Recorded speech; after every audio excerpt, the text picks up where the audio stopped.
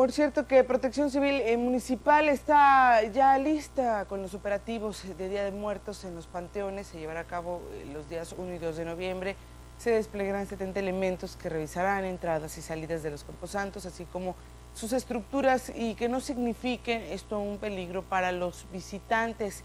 En el Panteón Municipal se colocará señalética que evite el contraflujo y un operativo especial para también eh, pues, apoyar a aquellos niños extraviados. Se recomienda a quienes visiten los panteones llevar agua, algunas sombrillas y sobre todo cuidar a sus hijos.